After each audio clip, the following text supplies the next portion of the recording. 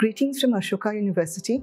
Ashoka began as a liberal arts university, in itself unique in the Indian higher education system.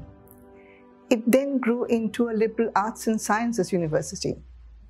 And today, it is a liberal arts and sciences research university.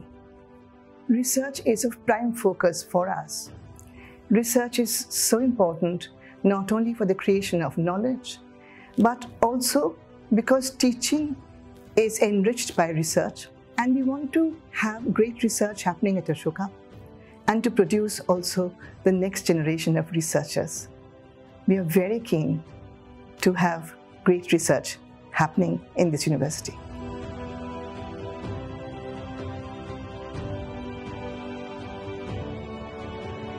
Ashoka is a research university where research and undergraduate teaching is totally integrated.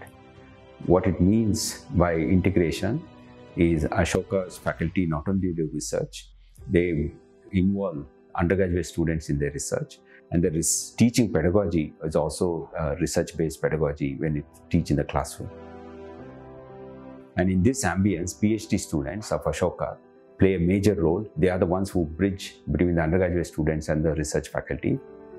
And by default, almost all research that is being done in Ashoka are interdisciplinary or multidisciplinary.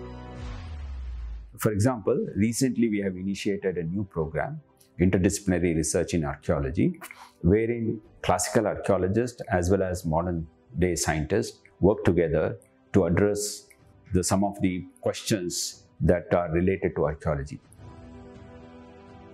The Ashoka PhD program offers aspiring researchers a unique combination of opportunities. A stimulating intellectual environment that encourages new ideas and interdisciplinary approaches, dedicated world class faculty to guide research, strong institutional support, and a program that gives PhD students opportunities to develop their teaching skills. My experience with the faculties at Ashoka has been extremely enriching, both intellectually and personally. Their investment in and encouragement of my project has allowed me to find new dimensions to it. Here I got to see them not only as brilliant scholars but also as wonderful teachers. The diversity of courses that I was able to be a part of has not only added to my knowledge domain but has also shown me how to sit with differences and build a scholarly community. Hi, I'm Shram Chakraborty pursuing PhD in biology at Ashoka University.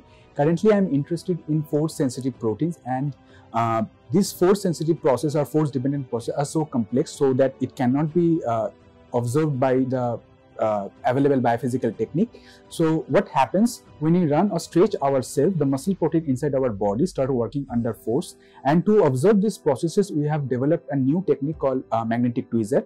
This is a very first of its kind in India. These processes are very insightful to observe different kind of biological processes such as wound healing, cancer metastasis and different kind of immunological responses. We, the students of history, do realize how important archival material is for our research.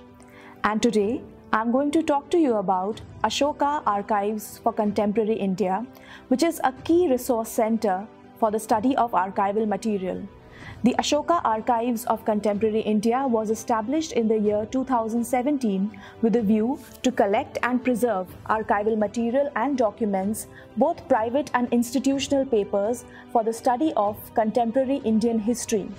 So far, Ashoka Archives for Contemporary India has over 50 collections, including the private and the institutional papers of a former President of India, Dr. S. Radhakrishnan, and a former Prime Minister, Dr. Manmohan Singh. The Ashoka Archives for Contemporary India will also host within itself a repair center for brittle archival material which will be fixed using the rare and the most available preservation techniques. Hi, I am Srijan, a third year graduate student in the Evolutionary Immunology Lab here at Ashoka University. I have been awarded the R.C. Lewontin's Early Career Research Grant from the Society of Evolution, one of the apex evolution biology societies in the world. Encouraging faculties here at our department and the stimulating discussions which I had with my peers as well as my PI helped me to propose the thesis in a manner that actually helped me in attaining that grant.